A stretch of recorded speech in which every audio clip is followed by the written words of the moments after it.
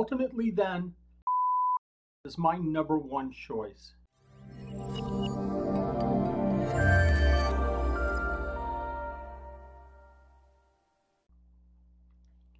Hey reptile fans, this is Wally Kern with Supreme Gecko. I'm guessing you're here for one of two reasons. Either you've just purchased a reptile and you're looking at the setup and want to make sure that you're keeping it the best that you possibly can, or you have a reptile or several and you're looking at the setup in the same reason you want to make sure that you're absolutely caring for your reptiles the best that you can. And what is the biggest concern that you're going to have? It's going to be heat. How do you provide the correct amount of heat to your reptiles to make sure that they're safe and your environment is safe as well? Today we're going to talk about the three types of thermostats that you can use for your heat mat to provide heat to your reptiles. We're going to look at four different affordable thermostats you can use for your heat mats for your reptiles. And at the very end, I'm going to show you which one I prefer. You might be surprised your reptiles need heat, right? I know that. You've purchased a heat mat or you're thinking about purchasing a heat mat. You know you need a thermostat, right? Nope, sure don't. Hang on, we'll cover that in just a minute. You know there's a difference between thermostats. There's three different types of thermostats. You knew that, right? No, I don't. Okay, we'll cover that too. And in a really, really fun way that will help you understand the difference between the three different types of thermostats. Then we'll take a look at four thermostats that I purchased from Amazon. I'll do a quick review and I'll select the one that I would purchase in the future. This will be the thermostat that I think is the best value in my opinion. In your opinion. Yes, in my opinion, that you can get for your heat mat for your reptiles. Hey, what kind of reptiles are you keeping today? Let me know in a comment below and let me know how you're providing heat to your reptiles. And maybe during this presentation, I'll go ahead and feed the fish while we're at it. Hey, fellow reptile keepers, I have something very, very special to announce. We're going to do a giveaway of one of the four different thermostats that we're going to review today. And it's going to go to you at the end of August 2021. All that you have to do is put in a word a secret word that you'll find out at the end of this video. Put that in the comments below and at the end of August 2021 we'll pull one of the names that's made a comment with this special word in it and I'll send you out this unit. It's going to be opened, it's not going to be used. Okay, I am back. I had to go downstairs, get some frozen brine shrimp. Let's let it go ahead and thaw and then, then I can feed the fish. But let's talk about reptiles. As you can see on my side, I have the four products that we'll review later, but let's talk about your reptile and its needs for heat. Have you heard of ecotherms? It's where reptiles will seek out the sun or the radiant heat from rocks in their surroundings so that they can warm up and they can establish their metabolism. But they can't live in this higher heat environment. They need a gradient. They need a warm side and they need a cool side and they need the ability to go between the warm side and the cool side. So in our captive care, we need to provide a heat source for our reptiles, and a lot of times that can be a heat mat or a ceramic heat emitter. But these heat sources are designed to be off, unplugged, or on all the time when they're plugged in. So as keepers, we need to regulate the amount of heat that we're providing to our reptiles, and the best way to do that is through a thermostat. Not quite thawed all the way. So let's talk about the three different types of thermostats. First of all, there's dimmers. Now we're all familiar with the common dimmer switch for a light fixture in our houses. It's the same principle. The more you raise it, the more power, electricity you provide to the heat source. The lower you put it, the less power you provide and the less heat that you get.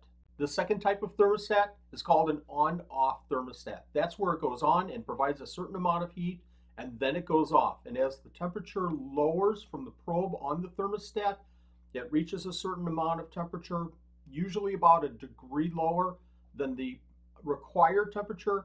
That thermostat goes back on and it raises the temperature again and then goes off again. So it's a constant on and off situation.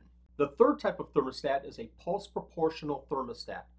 These work by going on, raising the temperature to the desired temperature, and then they go off for a very short amount of time. The temperature drops a little bit and then they go on real quick and bring that temperature back on. So it's a constant on off, but in really, really quick pulses. Does this sound confusing? It did for me. I've done a lot of research on this and I just couldn't put it all together. Well, I put together a real quick example using water and I hope that this works.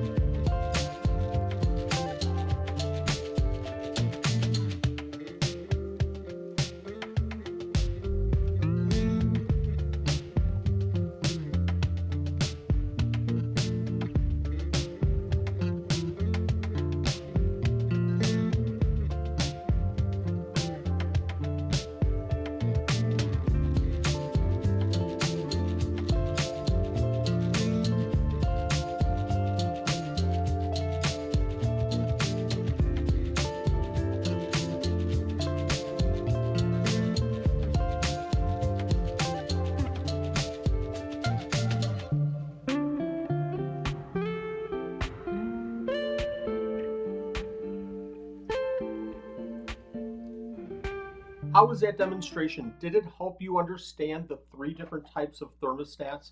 I hope it did. For our requirements, we could use any of these three different types of thermostats, but we're going to select the on-off thermostat in our example. The first option, a dimmer switch, could be used, but we're not going to because of two reasons. Number one, it's a little bit of a safety hazard. It's hard to hook up. It's a little bit complicated. And number two, as your room temperature rises, you have to go back, check, and adjust your dimmer switch. And as the room cools, you have to go back and adjust your dimmer switch. It's a little bit complicated in that regard. And we certainly could use a pulse proportional thermostat, but again, for our requirements, a single heat mat or a couple of heat mats, we don't have to go to that extreme. A pulse proportional thermostat is just a little bit expensive for our purposes. Pulse proportional thermostats can range from $90 all the way to four to $500.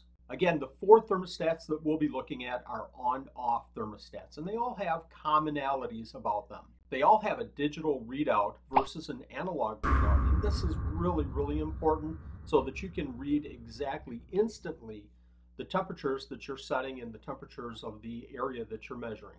They all have at least one three prong grounded outlet.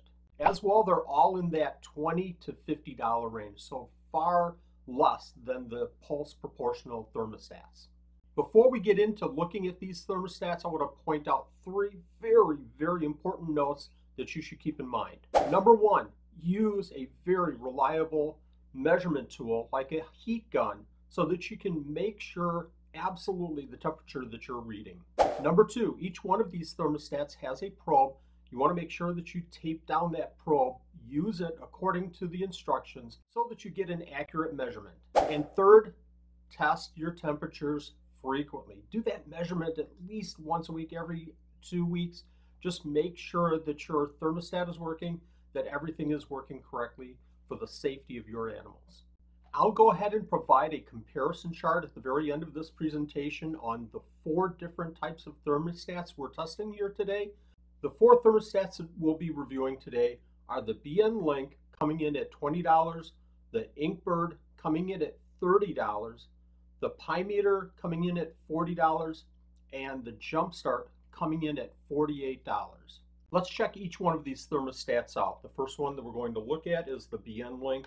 It's a pretty straightforward thermostat, easy plug-in, easy accessibility. The suction cup has no value whatsoever. Easy readout, easy to set up. It's very simple, very straightforward. Pretty standard six foot cord. Next, we're going to look at the Inkbird. Now, after a lot of reviews, a lot of people are really, really liking this Inkbird. This again has a nice feel to it, easy readout, easy to set up, two prongs instead of one. But what's really weird about this is, is that there's only one probe. Two readouts instead of one, I can see this is very straightforward to use and I can see why a lot of people recommend the Inkbird. Let's go ahead and look at the next thermostat, the Pymeter. Pretty much like we've seen with the other thermostats, very straightforward, nice construction, two outlets, two probes. This is huge, two probes, two outlets. So you can run two different devices if you want with this thermostat. And finally, we come to the Jumpstart. You can see this is commercially packaged it's for uh, using for plants, heating plants, but it's also used a lot for reptiles, for heat mats for reptiles. Let's go ahead and open this up and take a look at it. Okay, we have the jump start out of the box. Again, same as the other three thermostats. Uh, six foot cord, one probe, one outlet. Um, easy to set up, easy to read, uh, good construction. I think this is pretty much the equivalent of the other four from a device standpoint. Let's go ahead and test these four thermostats out. Before we do the testing, I wanted to really quickly show you some customer ratings on these four products. And it seems like every product is rated between 4.4 to 4.7. I'm kind of surprised by the Pymeter being at a 4.7, but I'm not surprised that the Inkbird is at a 4.7, the highest of the four different products.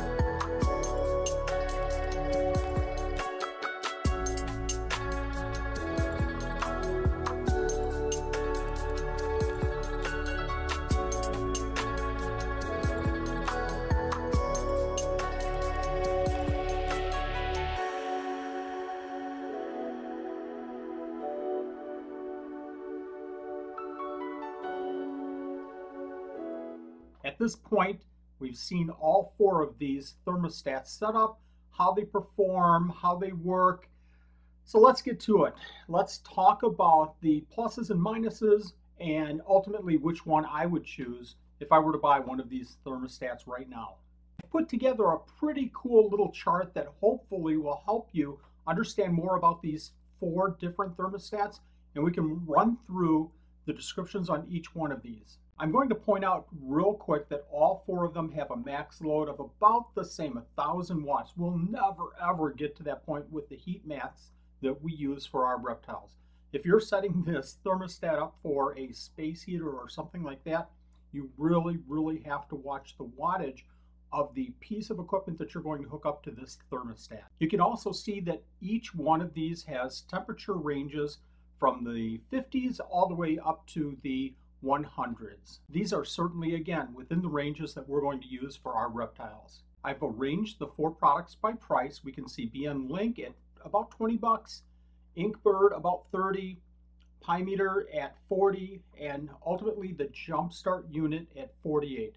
These prices may vary depending on the timing. From a performance standpoint, I would say all four of these units worked about the same. Little differences here or there, but none of the differences were significant enough for me to choose one over the other. But here's the big difference. Let's take a look at the last two categories here. For BN Link and the Jumpstart unit, both of those had one outlet. For the Inkbird and the Pymeter, both of those had two outlets, with the Pymeter having two probes, one for each outlet. That might be a big difference to you. Do you have two units? Do you have a heat mat and maybe you want to run a fan as well? If that's not a game changer to you, then that really doesn't make a big difference in the overall picture. Let's look at special features. The BN Link and the Jumpstart are both super, super easy to use. Press the set button, select your temperature, you're done. The Inkbird and the Pymeter are a little bit more complicated, but there's YouTube videos all over the place on how to set these units up. I mentioned before that the Inkbird has two separate outlets and that's two separate controls for both outlets. That's pretty significant. As well, there's two different displays, one for the current temperature and one for the temperature that you've set to regulate at. Finally, for the Inkbird, you can set this thermostat to run on a daytime temperature and then on a nighttime temperature as well. Again, that might be pretty important for you.